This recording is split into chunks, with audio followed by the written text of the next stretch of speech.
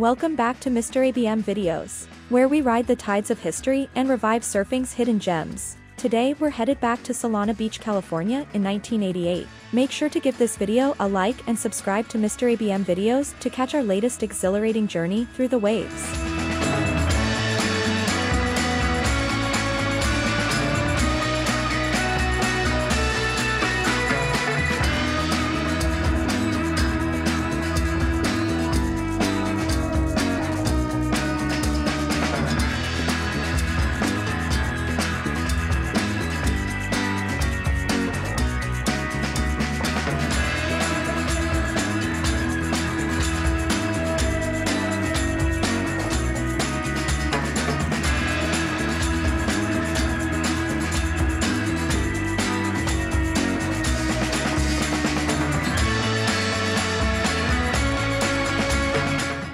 Solana Beach. Situated just north of San Diego, California, is a quiet and charming coastal community with a rich surfing history. Interest in surfing in the area struck in the early 1900s when George Freeth introduced the sport to California from Hawaii. Freeth's introduction to surfing with water rescues using his surfboard set the stage for Duke Kahanamoku's arrival, launching the love of the sport as we know it now.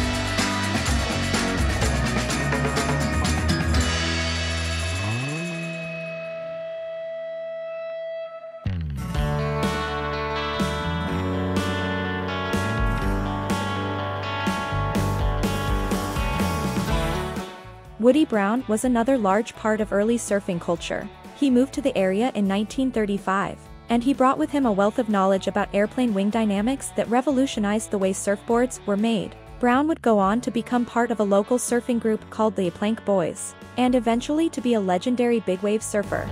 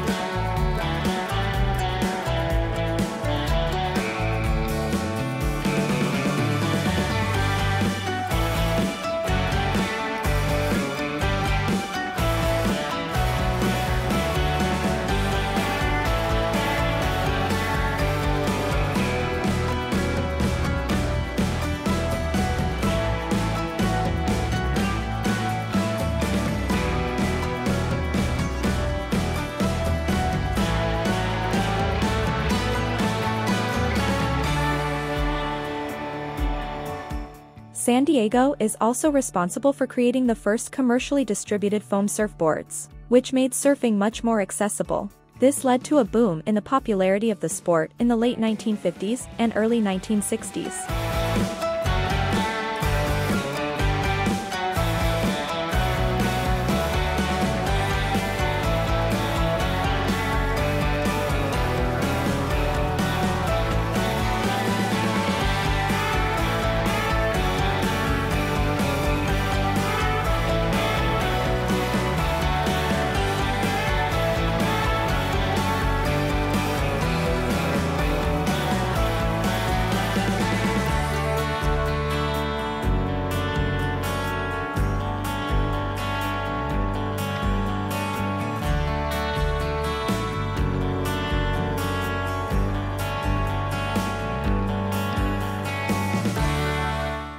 Solana Beach. Surrounded by sandstone bluffs creates a welcoming and peaceful surf experience. Perfect for riders at any skill level. Smooth rollers and a sandy beach make this break an ideal place to learn or get a cruisy ride.